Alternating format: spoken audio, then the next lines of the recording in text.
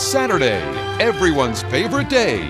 A time for mall shopping, fine dining, and carnival freak shows. But after a hard day of chocolate cake and heavy drinking, you're tired.